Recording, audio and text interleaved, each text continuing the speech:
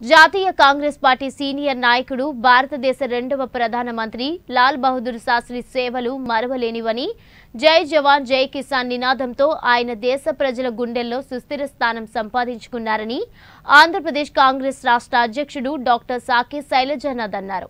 లాల్ బహదూర్ శాస్త్రి జయంతి సందర్భంగా విశాఖ నగర కార్యాలయంలో శాస్త్రి విగ్రహానికి పూలమాల వేసి ఘన నివాళులర్పించారు.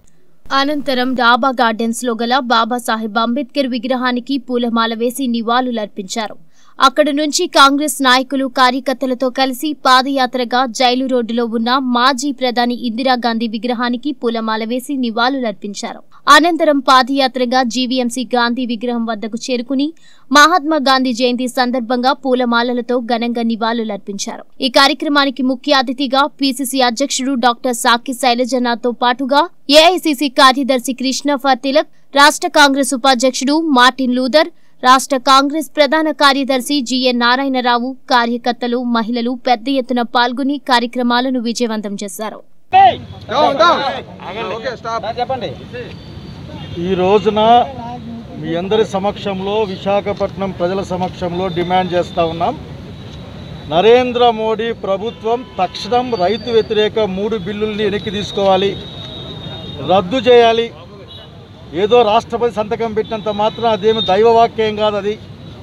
మీరు మీ కార్పొరేట్ మిత్రులకి మేలు చేసేందుకోసం ఈ కార్యక్రమం అని అందరూ అనుకుంటా ఉన్నాం మేము నమ్ముతా ఉన్నాం. భారత రైతుల్ని కార్పొరేట్లకి కూలీలుగా బానిసలుగా మార్చే ఆ చట్టాలని మీరు రద్దు చేయాలి. రాహుల్ గాంధీ గారి నాయకత్వాన కాంగ్రెస్ పార్టీ నాయకత్వాన సోనియా గాంధీ గారి నాయకత్వాన భారత రైతాంగ పక్షాన కాంగ్రెస్ పార్టీ నిలబడుతుంది పోరాడుతుంది ఆ బిల్లుల్ని అమలు చేయకుండా చూస్తుంది. ఇప్పటికే మా కాంగ్రెస్ పాలిత ప్రాంతాల్లో ఆ బిల్లులు అమలు కాకుండా ఉండేందుకోసం అన్ని చర్యలు కూడా తీసుకోమని మా నాయకురాలు ఉత్తర్వులు ఇచ్చారు ఇప్పటికే. నరేంద్ర మోడీ గారు నిలబడి మాట్లాడుతూ ఉన్నారు. దళారుల పక్షం ఎవరో అర్థమవుతా ఉంది మాకు. ఈ దేశంలో ప్రజలంతా బీదరికం లేకపోతూ ఉంటే మీతో అంటగాగే అంబానీలు అత్యంత ధనవంతులుగా ప్రపంచంలో పైకి పోతా ఉన్నారు. సమాధానం చెప్పుకోవాలా? ఒక ప్రదర్శన గాంధీ గారి విగ్రహం దగ్గర ఒక కార్యక్రమం ఉంటుంది. ఒక్కటే ఒక మాట చెప్తా ఉన్నాం. కాంగ్రెస్ పార్టీ ఒక్కటి రైతుల పక్షపాతి. రైతుల ప్రయోజనాలు కాపాడేది కాంగ్రెస్ పార్టీ మాత్రమే. ఈ రోజున్న వాళ్ళందరూ కూడా నేను డైరెక్ట్గా అడుగుతా ఉన్నాను. మా ముఖ్యమంత్రి రాజశేఖర రెడ్డి గారి కాంగ్రెస్ పార్టీ. కాంగ్రెస్ పార్టీ కాబట్టి రైతుల కోసం ఉచిత కరెంట్ ఇచ్చాము ఆ రోజున. జగన్మోహన్ రెడ్డి యాంటీ కాంగ్రెస్. కాబట్టే రైతుల బడికి ఉరితాడేసే కార్యక్రమాన్ని ఆయన చేస్తూ ఉన్నాడు. బీజేపీతో అంటగాగుతూ ఉన్నాడు. బీజేపీతో కలిసిపోయి మాట్లాడుతూ ఉన్నారు.